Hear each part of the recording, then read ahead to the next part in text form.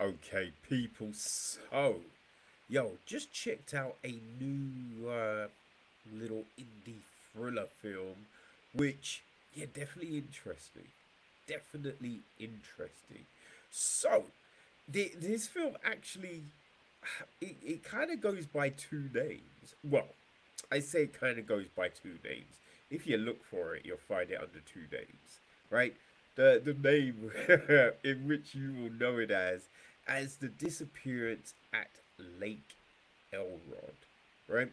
Now, its other titles seem to have been Through the Glass Darkly, which you kind of do understand, but on its own, that I, I understand why they changed the title. On its own, that is a bit just like, huh? What? You know, it, it's too vague right? It's trying to be a bit too clever, and people, yeah, it's not as enticing. But whereas the disappearance at Lake Elrod, it's kind of generic, but people that like that sort of thing, people that like a thriller, a missing person jaunt, they will understand and they will gravitate to this pick, right? That's what you, are trying to entice people with a title. So I understand why they may have changed changed it. So um, that was a scratch, not pick. It's not a pick, okay? Just putting that out there. So this is from director Lauren Fash, who also co-wrote with Susan Graham. Now, they both also produced the, the uh, piece along with Autumn Bailey and Camilla Casnelli. I feel that's how you pronounce it. Uh, the music is from Stephen Webster. Uh, cinematography is Damon Horan. Um, it is edited by Lisa Zeno Churgin and Arbian Van Zyl. Uh, casting is Lisa London and Catherine Stroud. Production is Dana Watson. Art direction Amber Goodrum. Okay, and our cast. Well, people, our cast. We have um, ooh, Robyn Lively, who plays Charlie. All right, we've got Bethany Anne Lind, who plays Angela. And then we have got Shanola Hampton, who plays Amy. We've got Michael Trucco as Trip Carmichael. Um, Judith Ivey plays his mother, otherwise known as Mama Carmichael. yeah, um, doesn't really get a name. Uh, we got the bartender Cricket, who play is played by Mary, sorry, Kerry Cahill. Uh, we have Kayla, who is played by Karina Norman. Uh, Bo played by Nicholas Logan. Uh, we have Belinda Jones, who is played by CC King. We have Braden, the police de- deputy, is played by Vince Foster. Oh, Bo's the police chief. Yeah, Bo is the police chief. Uh, who else do we have? Uh, I feel they're the like oh Magnolia is played by Susan Graham. She she slots herself up in the piece. Boy, that's three paychecks for old Susie. You know what I mean? no, Bo isn't. No, the the sheriff ugh, is played by Stan Houston.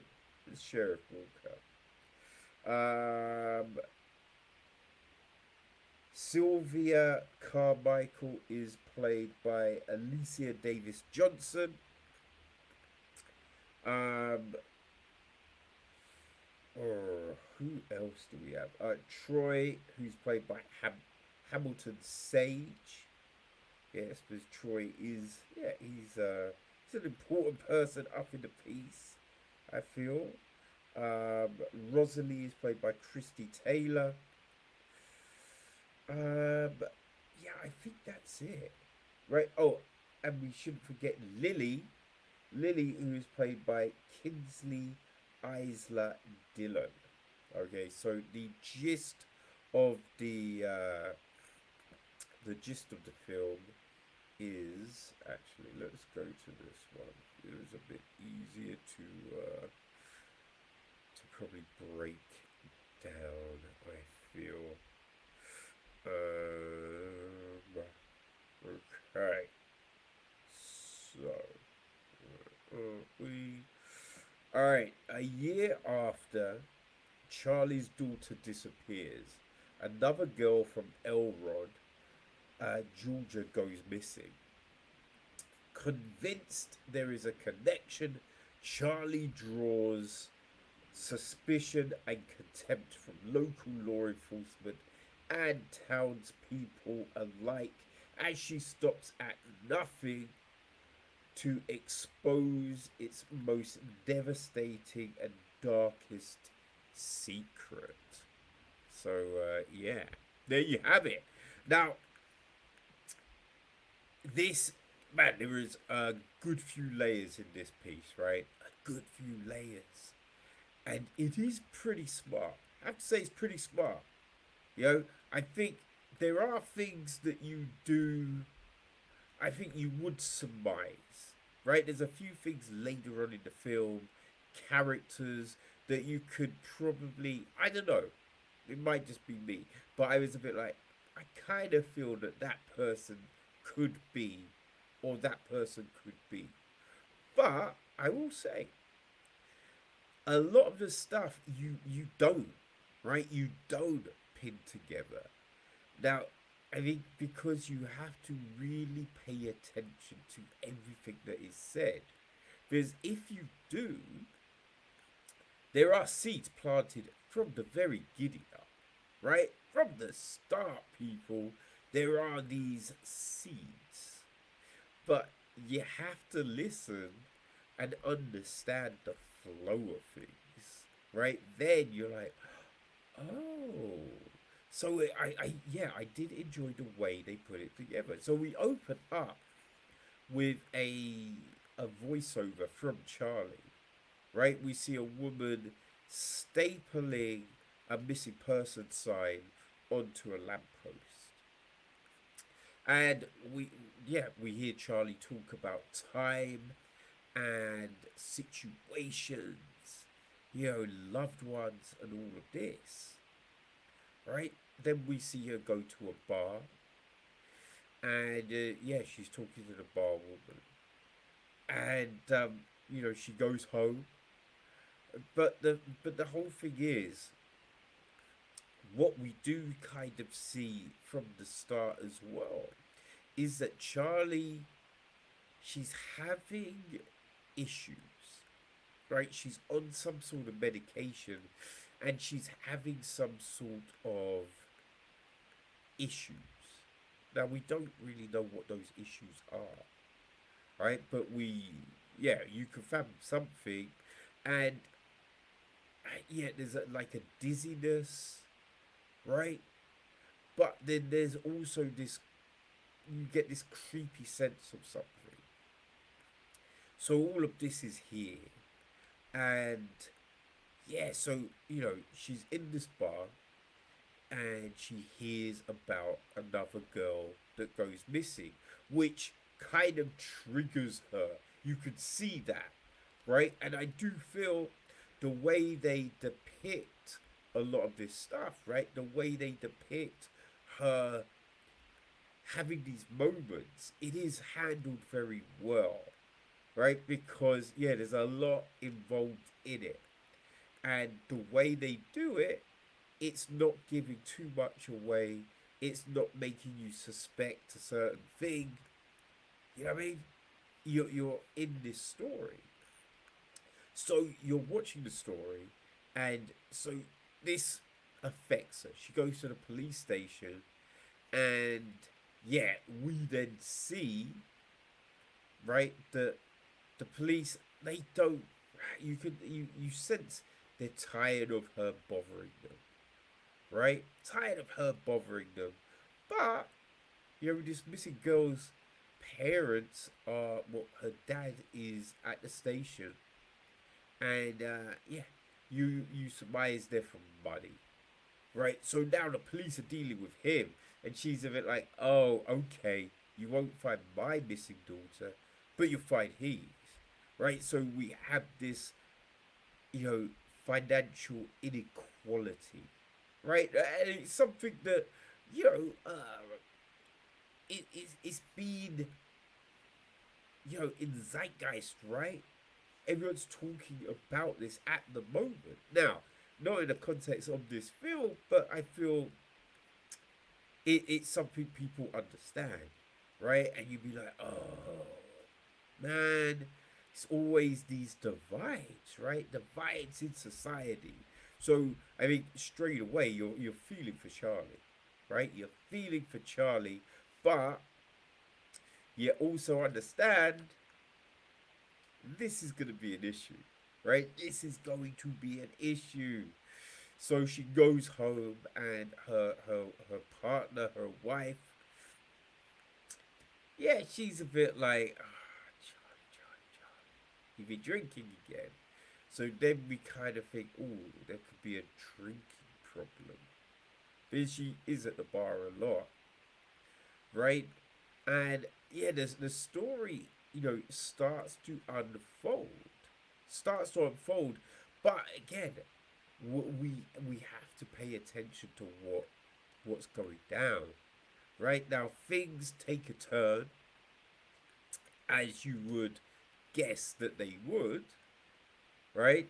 And you know now reporters are there which you know a wealthy family they, they have an issue. Yeah reporters are always there now one reporter you know charlie has one of her episodes reporter helps her which then you you you see this kind of bond, right? So you understand, okay, this is going to be a thing going forward, right? And now the reporters involved, it allows for the story to divulge more information, right? And as we go on, we get more breadcrumbs on what the fuck is going down. And yo, the, the I, I, I feel they handle this so well, so well, because there's so many levels of intrigue. You don't know which way to look, people. No one sells out on their performance. No one, right? You you you're believing everything. You're believing everything.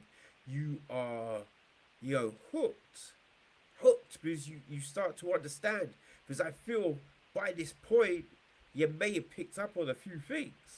You right? You may have picked up on a. Hey, if you haven't, no shame. No shame. We ain't judging you, people. We ain't judging you. You know what I mean?